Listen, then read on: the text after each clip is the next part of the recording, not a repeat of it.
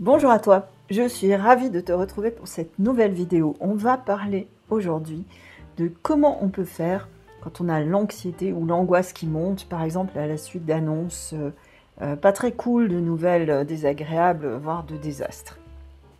Oui, ça m'est arrivé l'autre jour, je l'ai partagé sur les médias sociaux, j'ai été sidérée lorsque j'ai vu ce qui se passait en Afghanistan.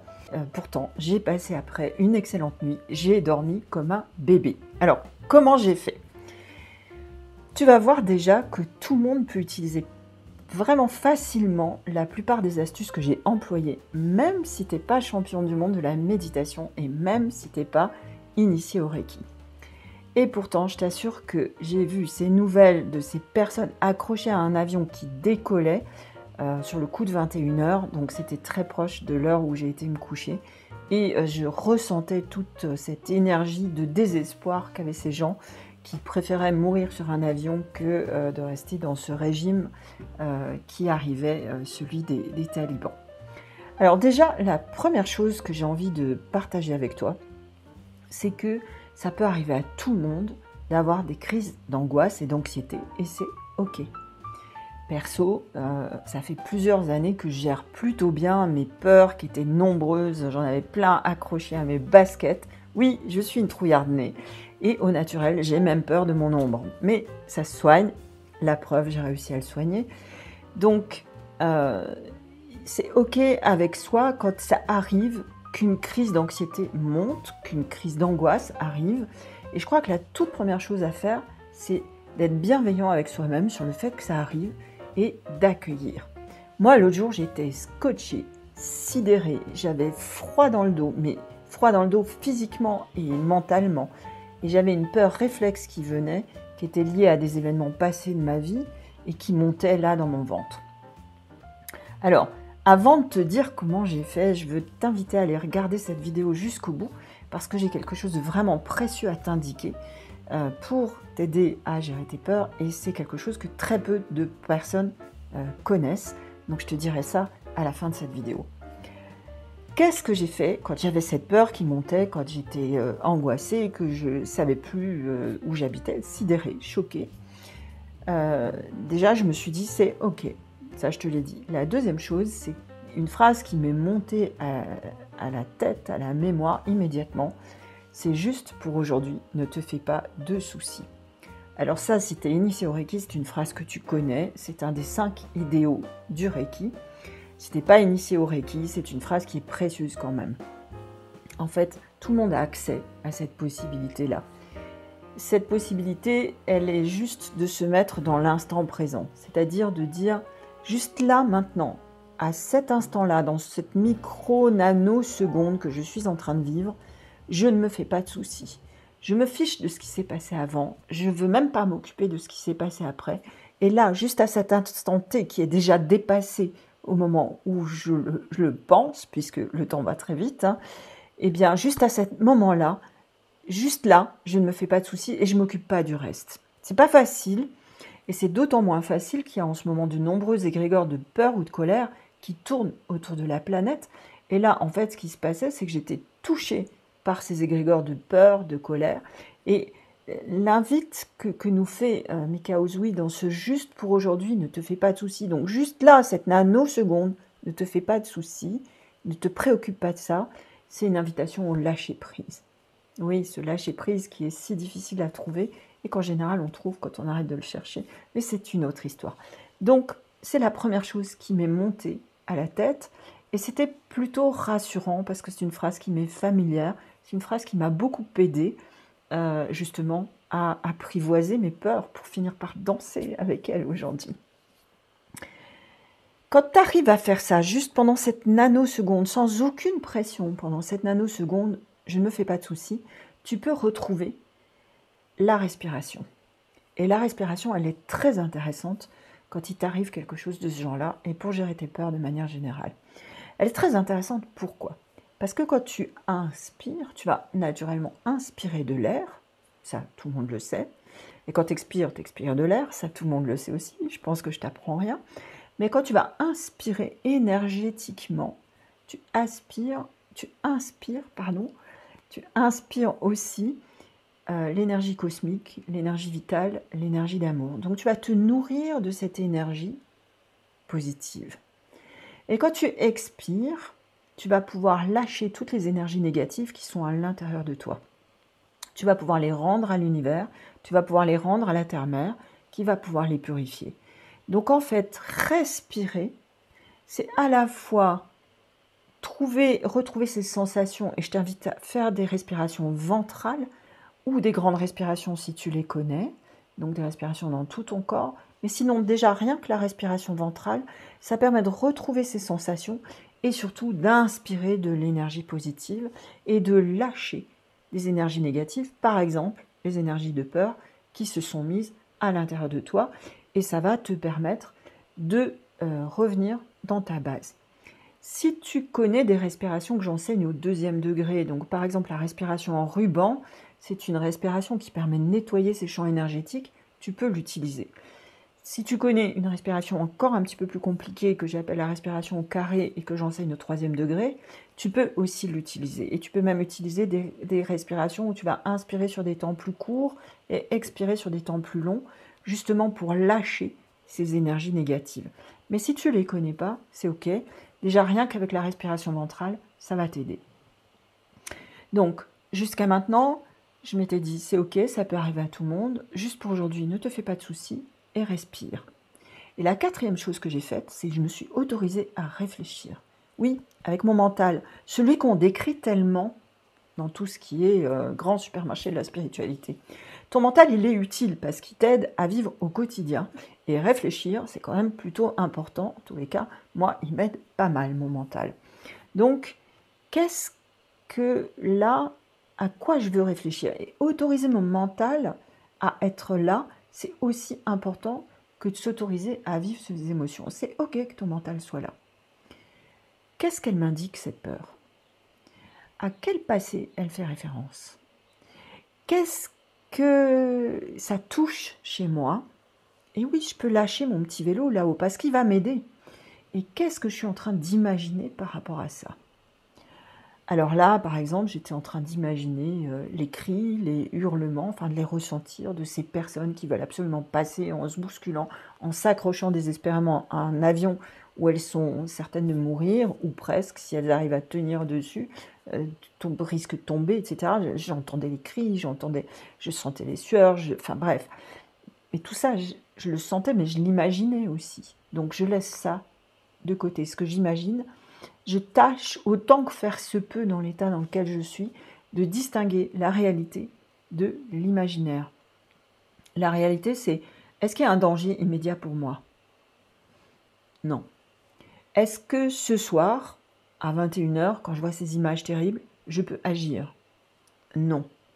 Est-ce que j'ai une idée de ce que je peux faire? Non.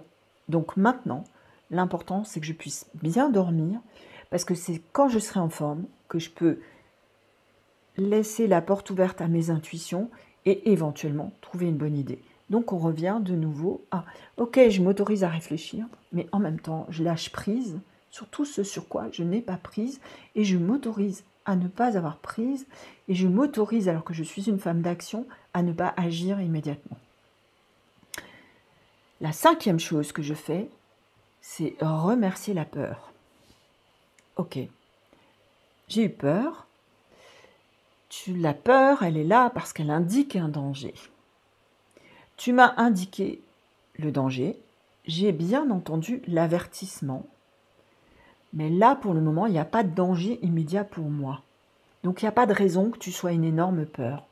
C'est un petit peu, si tu veux, comme euh, mon chien, mon merveilleux monsieur Lux, qui garde chez moi et qui aboie quand il y a quelque chose qui le imagine, qu'il ressent, qu'il détecte comme un danger. Mais comme je lui dis toujours, t'as aboyé, c'est bon, t'as fait ton travail, tu m'as averti. Maintenant, je vais gérer et toi, tu vas dans ton lit. Mais tu arrêtes d'aboyer.